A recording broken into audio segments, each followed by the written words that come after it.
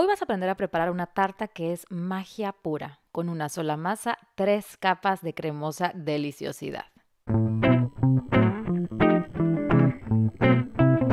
Amigos, bienvenidos a Es con acento, yo soy Damaris y el día de hoy les traigo una receta espectacular y facilísima. Vamos a preparar tarta mágica o pastel inteligente. Y posiblemente ustedes se preguntarán qué tiene de mágica, qué tiene de inteligente. Y bueno, la clave es que este pastel se prepara de manera muy sencilla con una sola masa. Pero dentro del horno ocurre algo muy hermoso y casi mágico que hace que esta sola y simple masa se convierta en tres capas distintas bien diferenciadas. Una capa de flan, una capa de crema pastelera y una capa de bizcocho o pastel. Su textura es muy tierna, muy cremosita y deliciosa, además de que su sabor es dulce y fresco. Es la receta perfecta si quieres impresionar a alguien sin complicarte mucho la vida, así que vamos adelante con los ingredientes que necesitas para preparar esta delicia. Vamos a necesitar 125 gramos de mantequilla, 500 mililitros de leche, 4 huevos, 140 gramos de azúcar, la piel de un limón rallada, una cucharadita de vainilla y 110 gramos de harina. Para decorar, azúcar glass, fresas, frambuesas o cualquier otro tipo de moras. Todos los ingredientes deben estar a temperatura ambiente. Ahora, el primer paso es rallar la piel de limón. Es muy importante que lo hagamos de manera superficial, sin llegar a rayar la parte blanca porque esa parte es amarga. Y no queremos que se amargue nuestro pastel. Así que solamente la partecita amarilla es lo que vamos a rayar.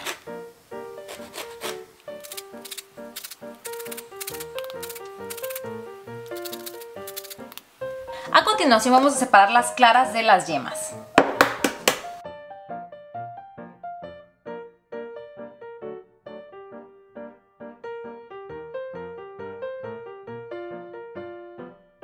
Continuación voy a preparar mi molde desmontable con un poco de papel para hornear.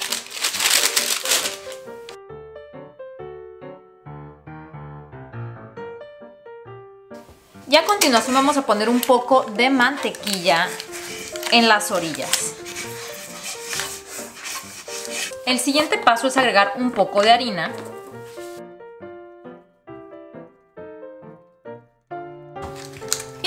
molde está listo.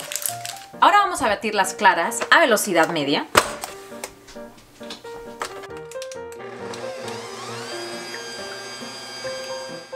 Y una vez que comienzan a hacer espuma, subimos la velocidad.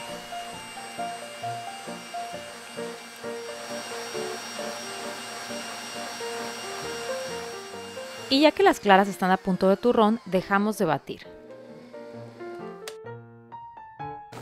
Las transferimos a otro bowl.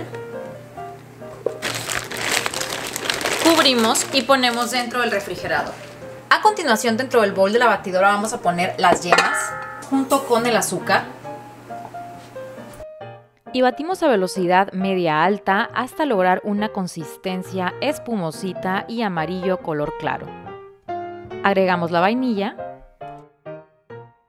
la piel de limón y la mantequilla a temperatura ambiente.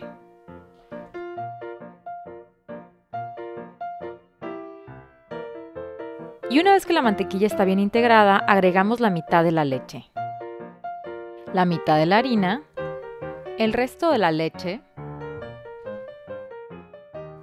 y el resto de la harina. Y batimos un par de minutos hasta que esté todo bien integrado.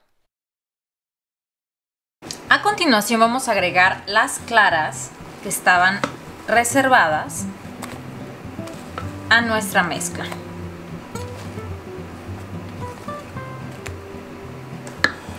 Y vamos a mezclar con movimientos envolventes para no matar la espuma por completo.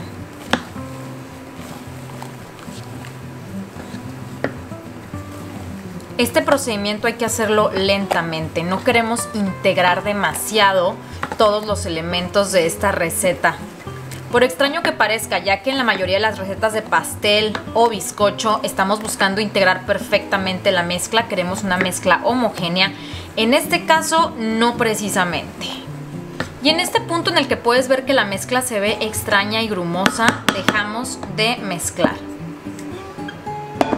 y vamos a dejar caer nuestra mezcla en nuestro molde. Vamos a tratar de emparejar ligeramente. Y a continuación horneamos en horno precalentado a 180 grados centígrados por 10 minutos, con calor arriba y abajo. Una vez pasados los primeros 10 minutos de horneado, vamos a bajar la temperatura a 160 grados centígrados o 320 grados Fahrenheit. Y vamos a hornear por 40 minutos extras. Estamos haciendo esta variación de temperatura porque queremos que el golpe de calor más intenso sea al inicio y nos ayude a esponjar bien el bizcocho de la parte de arriba. Mientras que al cocinar a una temperatura más baja el resto del tiempo ayudamos a que se formen bien las natillas o la crema pastelera del centro junto con el flan de hasta abajo. Y bueno amigos, pasados los 40 minutos extras de cocción vamos a sacar esta belleza del horno a ver qué tal quedó. Ay, ay, ay, qué bonita y esponjadita se ve. Vean nada más. Vamos a ponerlo sobre una rejilla de metal para ayudarlo a que se enfríe. Y antes de abrir el molde o desmoldar, vamos a esperar por lo menos media hora.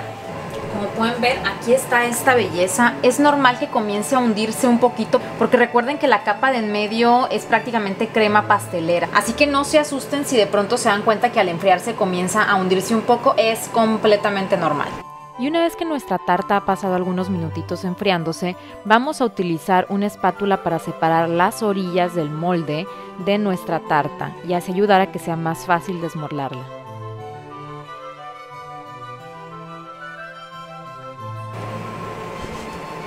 Aquí llegó la hora de la verdad amigos.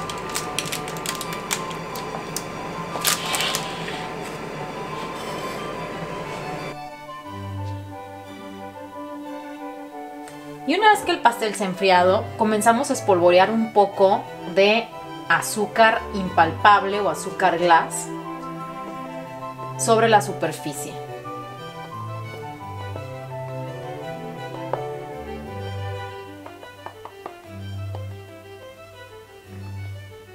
Y a continuación partimos un trozo.